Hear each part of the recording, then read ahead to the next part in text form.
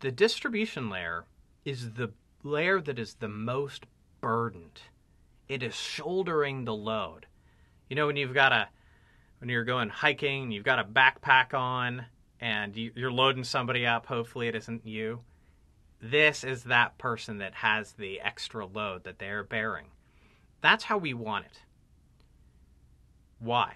Well, we don't want the core to do anything fancy for us. High speed, all that jazz, that's the core.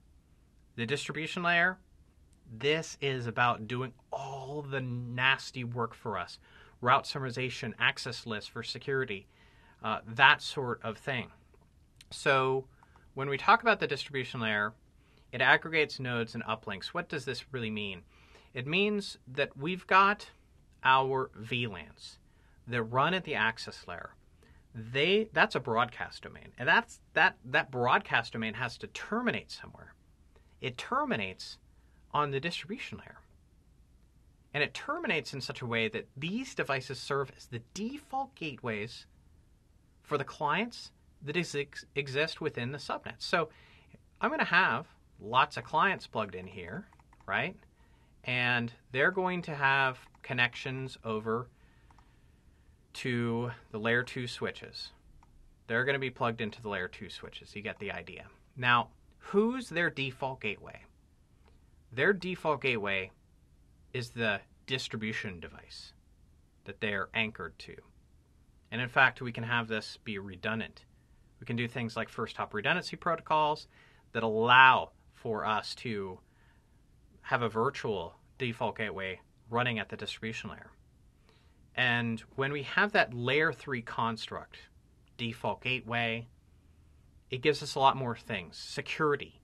We can do router based access control lists for security, just to name a little bit. Quality of service, definitely a possibility at the distribution layer of our topology. And that's the story. We want to be layer 3, terminate the VLANs. That's important. VLANs do not cross into the core. Let's say we have VLANs uh, 32 through 47. 16 VLANs in total. It's inclusive of 32, so that's how we get the 16. And these VLANs might exist all throughout here, okay? They don't cross into the core.